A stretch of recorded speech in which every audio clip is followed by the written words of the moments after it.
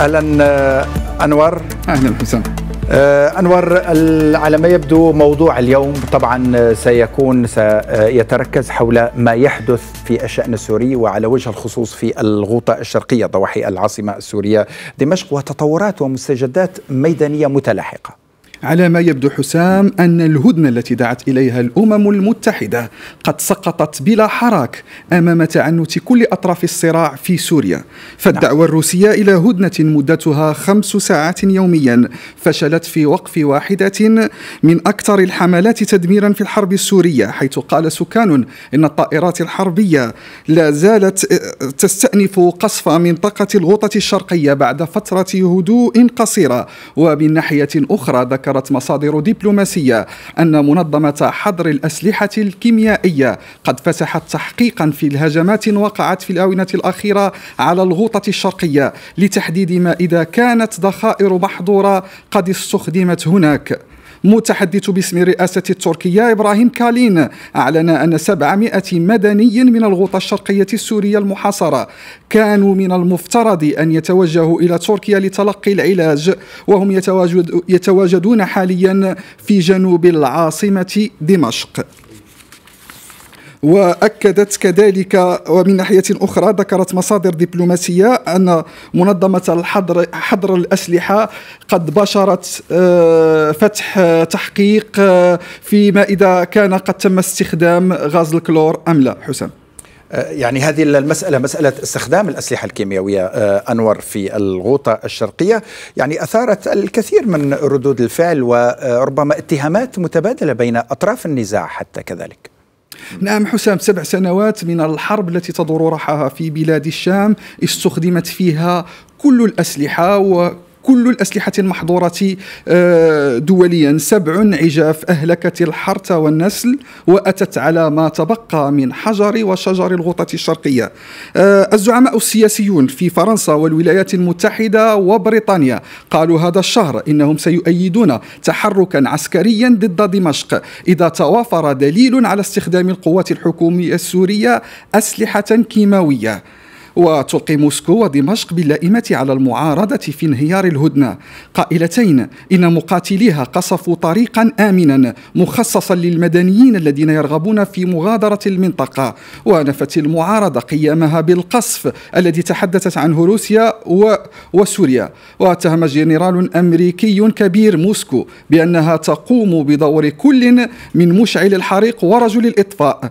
ووصف تقاعسها بكبح جماح الأسد بالتقصير مندوب فرنسا لدى الأمم المتحدة فرانسوا ديلايتر دعا إلى إنشاء آلية لتفعيل القرار الأممي رقم 2401 المتعلق بوقف إطلاق النار في كل سوريا وكذلك تيسير وصول المساعدة الإنسانية إلى نعم. هناك يعني آه أنور آه للأسف هذا الشد والجذب ما بين أطراف النزاع في الغوطة الشرقية لكن يبقى المتضرر الأب الابرز الضحي الضحية الابرز يبقى طبعا هم المدنيون ولافروف يشدد على ضرورة التقيد بالهدنة لإيصال المساعدات الإنسانية ومساعدة المدنيين هناك. نعم وحسام والمنظمات الإنسانية أنور تدق ناقوس الخطر بسبب عدم وصول هذه المساعدات وتحذر من تكرار سيناريو حلب في سوريا. الأخطر من كل هذا وذاك نعم. حسام سحر أن نعم. منطقة الغوطة الشرقية وهي آه، شريان الحياة في بلاد الشام. فكما يعرف الجميع أن دمشق تأكل من الغوطة وأن نهر بردة هو من يزود ما تبقى من الأراضي آه، السورية الغير الخاضعة للنزاع بالماء الصالح للشرب.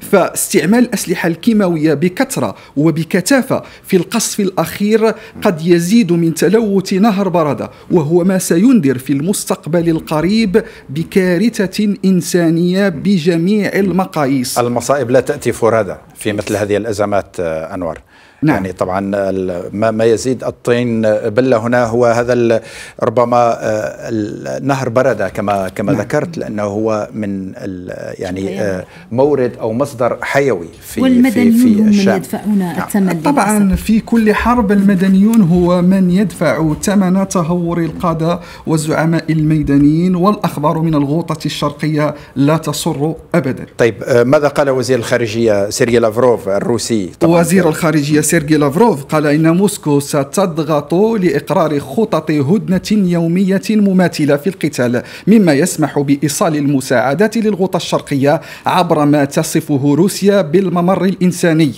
لكن الأمم المتحدة قالت إنها تجد من المستحيل تقديم المساعدات للمدنيين أو إجلاء الجرحى وقالت إن على جميع الأطراف أن تلتزم بدلا من ذلك بهدنة مدتها 30 يوما طالب بها مجلس الأمن الدولي. وأعلن مساعد الأمين العام للأمم المتحدة للشؤون الإنسانية مارك لوكوك أن حوالي أربعين شاحنة محملة بالمساعدات الإنسانية مستعدة للتوجه إلى الغوطة الشرقية قرب دمشق. وقتل أزيد من 600 مدني بينهم 147 طفلا آه، في الصراع الذي تشهده الغوطة الشرقية آخر معقل لفصائل المعارضة المسلحة قرب دمشق منذ الثامن من منذ الثامن عشر من فبراير الماضي نعم. وفق ما أفاده المرصد السوري لحقوق الإنسان نعم. أنور شكرا جزيلا لك على كل هذه التوضيحات حول موضوعنا اليوم إن شاء الله نلقاك في مواضيع أخرى